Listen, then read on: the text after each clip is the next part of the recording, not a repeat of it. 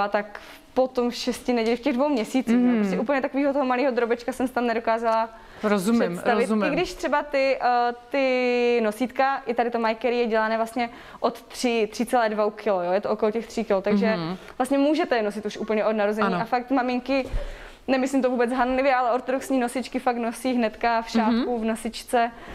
Takže pokud chcete nosit hnedka od narození, tak je dobrý si pořídit to nosítko, které buď má novorozeneckou vložku, anebo tady to Mykery nemá vyloženě vložku, ale má takovou speciální uh, opěrku na hlavičku. Tohle je jako dítě, abyste věděli, prosím vás. To je, to je dítě naše dneska tam.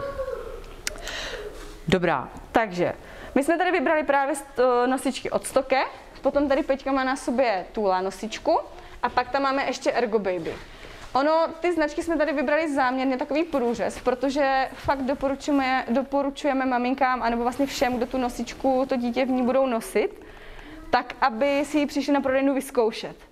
Protože třeba Peťka, která má takové úplně teňoučké ramínka, je takový drobek, tak těmhle si maminkám skvěle sedí ta tůla. Jo, třeba v Ergo Baby vím, že se holky takové ty drobnější necítily dobře, protože ta je dělaná spíš prostě pro širší ramena. Já jsem měla Ergo Baby, jsem svalovec. takže pro tatínky Ale možná pro tatínky, taky Ergo jasně, Baby. a jo, Mhm. nebo- Na druhou stranu ta tůla, už jsme se o tom bavili, má krásný Nádherný. designy, vzory. Tady to je takový kravičkový. A má několik těch typů. Tady Peťa má na sobě Free to Grow Up, která je právě už od narození, nemusí v ní být novorozenecká vložka a vydrží až do 20 kg. Což je teda uh, hodně, protože třeba tady většinou vydrží do 15 kg. Petulko, můžeš se nám otočit zádama? Jo, má tady krásně. Ať vidíme. Ty nosičky jsou super, jak jste viděli v minulém streamu, že nejsem příliš technická, tak to se týká i uvazování šátku, takže jsem si jako bych nedokázala představit ten šátek. Takže ty nosičky jsou fajn, prostě zacvaknete dole, zacvaknete nahoře a máte tam miminko. myslíš, že se dá říct, že oproti tomu šátku, a to nic proti šátkům, uh, u té uh, nosičky máš vlastně vždycky jistotu, že to dítě usadíš správně? Dá se to tak chápat, že už je to tak nastavené? Jako, myslím si, že je jednodušší tam neudělat chybu, Ano. než u toho šátku. Krásná odpověď. Jo, taková je to pravda. protože zase jako fakt nechci naštvat maminky, které, které ty šátky obhajují s tím, že jsou fakt hrozně jednoduchý. Mhm, a ne každý to musí umět, že? Přesně. Ale já věřím tomu, že když to pětkrát zkusíte, Jasný. tak i ten šátek vám přijde hrozně Mhm, jednoduchý. Ale prostě pro mě ta nosička byla jako hrozně jednoduchá. Dobře se mi to nosilo, i když třeba teďka už malý má dva roky, tak já to prostě pořád mám jako na zádech, když jdeme někde na procházku, když už se mu nechce chodit, tak ho tam na chvilku šoupnu Mhm. a, a pořád ho unesu. Kolik má, kolik má tvůj Max? Dva roky. A kolik má kilo? No, bude mít tak těch 13 teďka, takže ještě, ještě tam vleze. A vlastně Aha. teďka nad tím přemýšlím, že jsem nad tím do teďka nepřemýšlela, že je ta nosička jenom do 15, takže pak Zatím, bude za, zatím to pak prostě od 15. No ale každopádně vlastně jsem si teďka trochu nahrála, protože Tula má ještě nosičku, Ano. která je až do 27 kg. Což teda maminka musí být jako asi hodně silná. To už je spíš pro tatínka možná. I tatínek musí být hodně silný, protože jako i 27 když jdete kilo. s batohem na těžko, tak má tak 20, 27 mm-hmm. už je teda docela podle mě dárda. 27 kg to už možná nosíme i prvňáčka. No, ale existuje to. Ano, Takže ano, pokud skvělý. prostě někdo chce, tak eh, Tula má, ta se jmenuje Toddler a ta je od 11 kg, nemůže se používat úplně od narození, ale je až do těch 27. Aha, aha. Jenom možná tady můžeme ukázat takové jako technické věci. Když vybíráte nosítko, tak určitě vybírejte ergonomické nosítko. A pozná se to v tom, že to miminko tam má zajištěnou tu polohu zadečku a nožiček do MK, jo? že ten zadeček by měl Mhm. být níž než, než ty kolínka. Aha. Ať je tam. Aha, to je, to je pěkně vidět. Jo, potom takový určitě jako vychytávky, ať se tady to zrovna Peťa nemá, ale střížka, kdy si o to opře hlavičku, ať mi tam nějak nebyla Pěti, ty tam máš takového rozcuchánka. A tu ručičku má chudák, tak to je. Já si myslím, že takhle ty vlasy ale vypadají skoro po každém jako kočárku, takže to je klasika.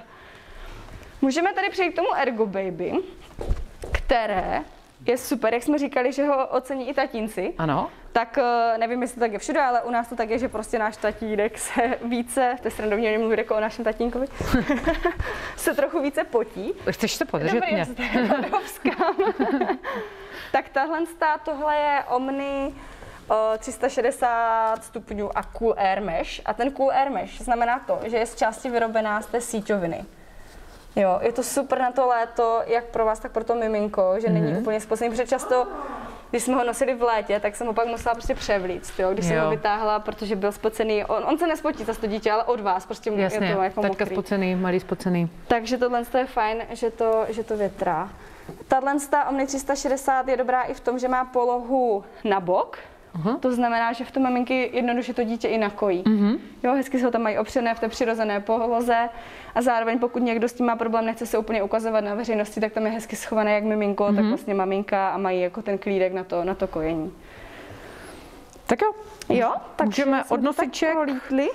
A... Jinak jako fakt ještě bych zopakovala, ať si to fakt přijdou vyzkoušet. Mm-hmm. Jak to sedí, jak, ve které to, se cítí nejlíp, že? Se to nezdálo, ono potom to dítě, když tam nosíte, tak ono je docela těžké a jako cítíte nějaký ten mm-hmm. komfort, diskomfort, když tam je, takže to je...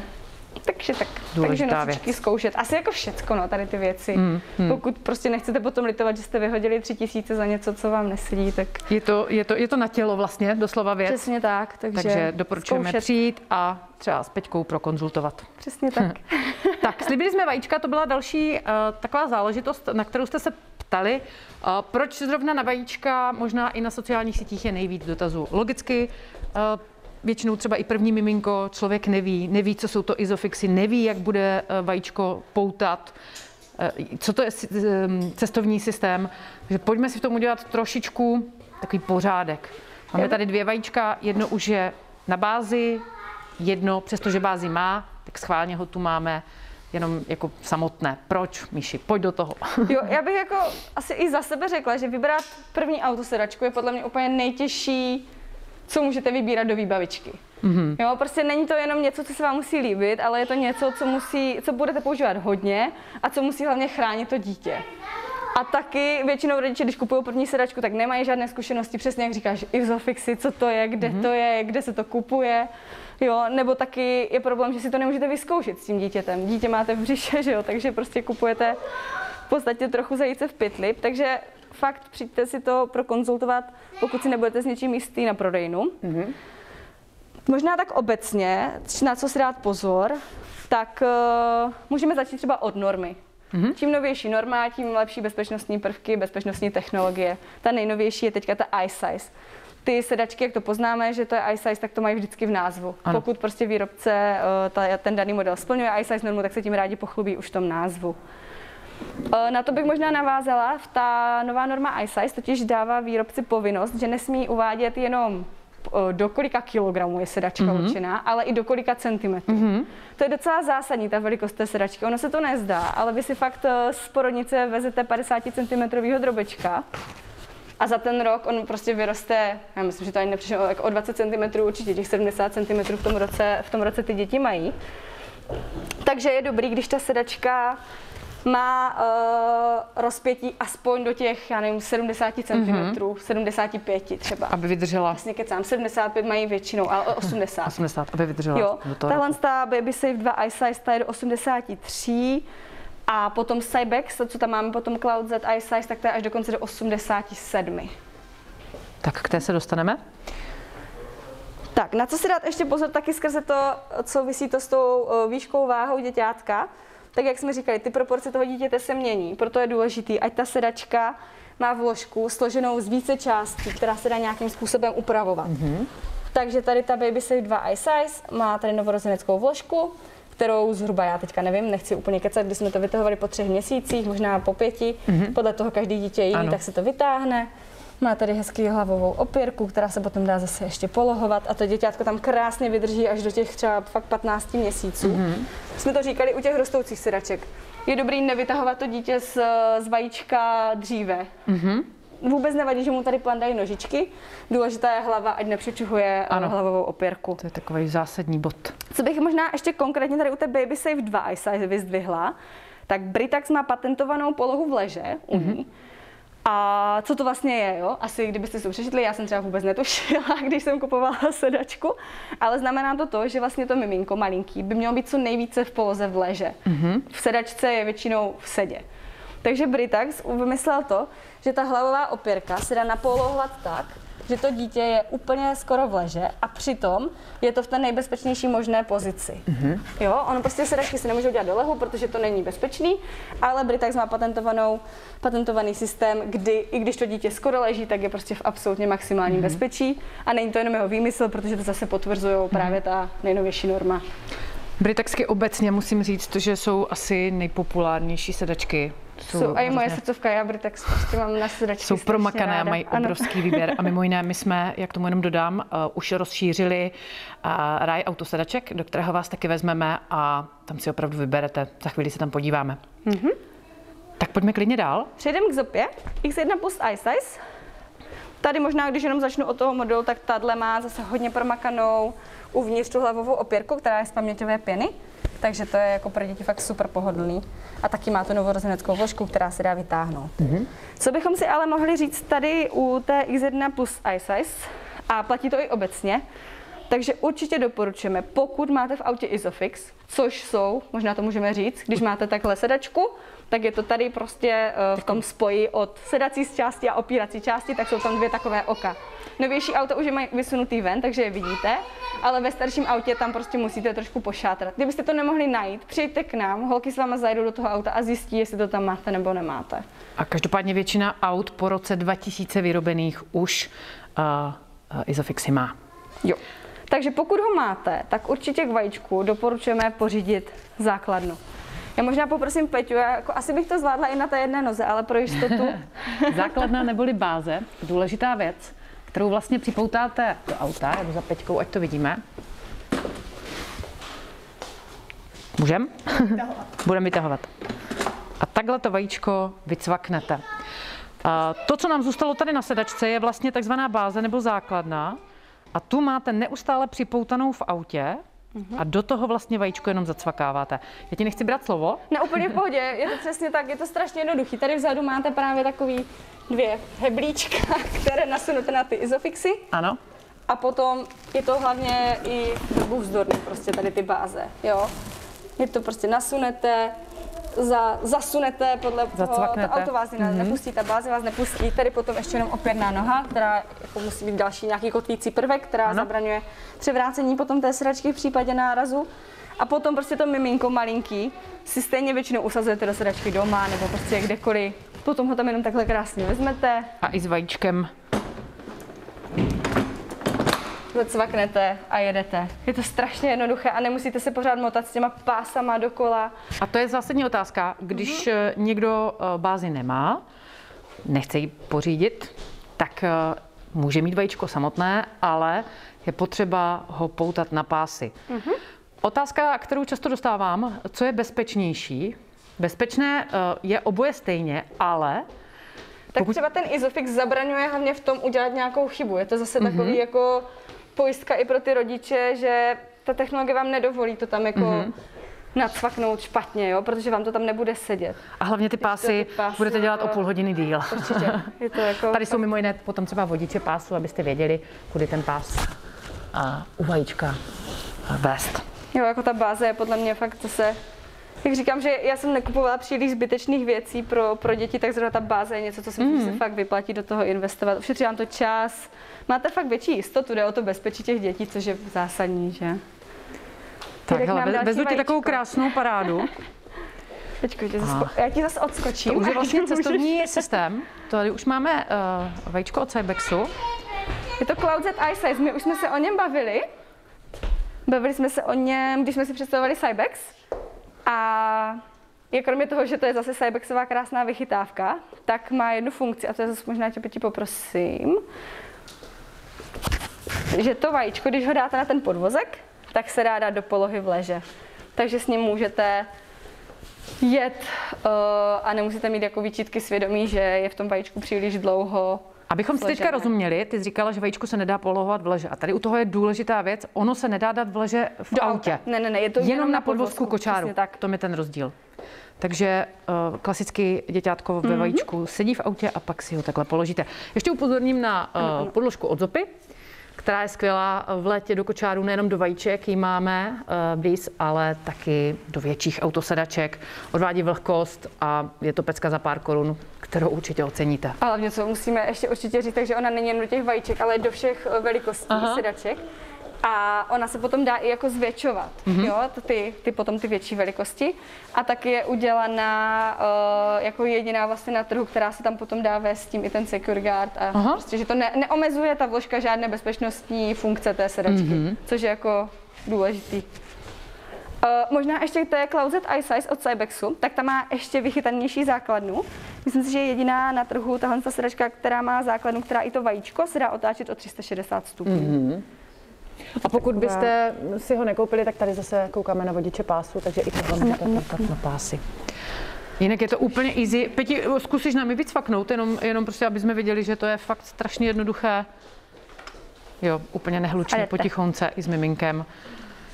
A je to úplně... Já tady teďka vidím vlastně ty adaptéry na ten kočárek. Co je důležité, eh, taky když si vybíráte sedačku, tak uh, si uvědomit, jaký chcete kočárek. Buď jestli už jste rozhodnutí, anebo potom to vzájemně přizpůsobit, protože ne všechna sedačka, všechny značky sedaček sedí na všechny podvozky. Mm-hmm. U Cybex tak uh, na ten, ten sedí vlastně na všechny adaptéry Maxikosy, jestli to říkám správně, stejně tak Zopa. Ano. A Britax ten má svoje adaptéry. Mm-hmm. To jsou časté otázky, ale když nebudete vědět, napíšete nám, my vám odpovíme. Jo, těch značek kočárků je fakt hodně, no, je to... Tak a teď něco, co máme hodně rádi, je to krásná věc. Je to možná trošku větší finanční položka, ale věřím, že jste viděli už u mnoha maminek, blogerek, influencerek, ale to je vlastně jedno, jestli má nějaká hvězda nebo jestli má vaše sousedka, protože Dona je věc, kterou ve finále ocení každá mamka. Je to autosedačka a zároveň je to kočárek. Mm-hmm. Proč je tak boží, uh, Peti, Peti, Míšo? Peti, Míšo. Peti, Míšo. Je boží v tom, že vám vlastně budete mít vždycky po ruce a myslím si, že to třeba oceníte hlavně, když máte dvě děti. Mm-hmm. Protože vy vlastně z téhle z té fáze úplně snadno, Petě vám to za chvilku ukáže, jak snadno, složíte takhle do auta. Takže máte autosračku na kolech je to super, když jezdíte s úplně malým miminkem pořád na pravidelné kontroly ano. k doktorovi, takže to nemusíte tahat v ruce. Ono se to nezdá, ale i to tříkilové dítě v té sedačce, která váží, já nevím, necelé dvě kila, tak se to prostě pronese. Takže takhle krásně to máte sedačku na kolečkách. Jenom zdůraznuju, nenahrazuje kočárek, nemůže ne. v tom být dvě hodiny na procházce, pořád je to autosedačka. Ale, ale krátký. na vyběhnutí na nákup, k tomu lékaři, je to fakt super. Často se nás maminky ptají, jestli to nešpiní sedadla. Ano. Má to krytky na kola. Takhle, když máte složenou, tak ta otázka ano potom je, eh, že co s kolečkama, když jsou vlastně špinavý od venku. Hmm. Za prvé se nedotýkají toho potahu, ale chápu, může padat bahno nebo něco. Existují na to krytky a vůbec Dona má obrovské příslušenství. Nejenom v té tašce, kterou tady vidíme, ale má i stínítko, které se potom natáhne přímo od střížky. Peťulko, můžu tě poprosit, eh, složíš, rozložíš? No to je totiž strašně krásně jednoduchý. Je to fakt jako na jeden klik. Tak vydáme si ji i z té báze, což je taky jednoduchý. Mm-hmm. A teď kde je to kouzlo, jo? kde je ten čudlík? Tak je to kouzlo, tady zezadu, kde jenom maminka a uvolní se vám podvozek. A jede. Si my jsme ji tady měli nakliklou na té bázi, ale i ta dona se dá uh, vázat, poutat pomocí mm-hmm. bezpečnostních pásů v autě. Ale zase báze je a vlastně celou dobu, jak to skládání, tak to rozkládání, eh, to natrénujete během dvou, tří právě vkládání do auta. Eh, zvládáte s dítětem s plným nákladem. Mm.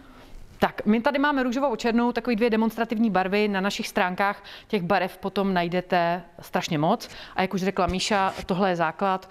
Bázi si k tomu potom dokupujete jako i ostatní příslušenství. Tak. Já myslím, že k vajíčkům jsme asi řekli všechno, co jsme chtěli. Aha. Přemýšlím. Adaptéry jsme řekli. Adaptéry jsme určitě řekli. Všechno, takže kdyby vás něco napadlo, tak se přijďte zeptat. Přesně tak. Peti. Ano, k pečce třeba zrovna. Skládání jde o moc líp než nám. Tady, tady promo. A ještě máme jednu důležitou věc, a, a já jsem ji donesla. Já, já jsem na ní nezapomněla, tady na krásném Cybexu. Řekli jsme si, že dáme takovou uh, drobnůstku na závěr, ano. praktickou, která se hodí. Ono se to, hlavně v téhle době se to stalo velice populární, ano. ale myslím si, že to jako využijete kdykoliv s malým dítětem. A je to teploměr. Bezkontaktní teploměr. Myslím, že pokud jste v těchto dnech byli někde na návštěvě nějakého zdravotnického zařízení, tak jste se s tím setkali. No, musím říct, že mě nedávno u doktora samozřejmě měřili a mm-hmm. Sestřička mě vyhodila, měla jsem 35,4, jo. Cože? Fakt, asi jsem byla podchlazená. no každopádně, nás zamíříte s tím na čelíčko, zmáčknete, změříte a co je super, neměří to jenom tělesnou teplotu, ale můžete si tam nastavit i funkci, že změříte třeba eh, teplotu lah, eh, mlíka v lahvi. Mm. Takže jako pro maminky super, super vychytávka. Mm. A jako je, je to, to úplně asi nejjednodušší způsob, jak tomu dítěti teplotu změřit. Mm. Jako já jsem Nemusíte třeba sama nějak... měla docela problém s nějakým prostě měřením z konečníku a tyhle ty věci. Samozřejmě. Takže, takže v dnešní době super. už není potřeba něco takhle trápit a Možná stresovat. i spíš sebe, možná tomu dítě to vám, že mu způsobujete něco takového. Takže takový tip na závěr, vychytávka. Elektronický teploměr, Elektronický, bezdotykový. bezkontaktní, ano, ano. Takže, takže tak.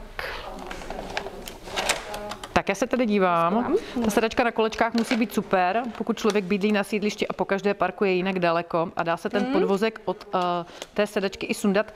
A uh, ne. Ta dona je vlastně kompletně uh, k té sedačce, jsou ty kolečka přidělané, jak Peťa právě ukazovala tím jedním cvaknutím.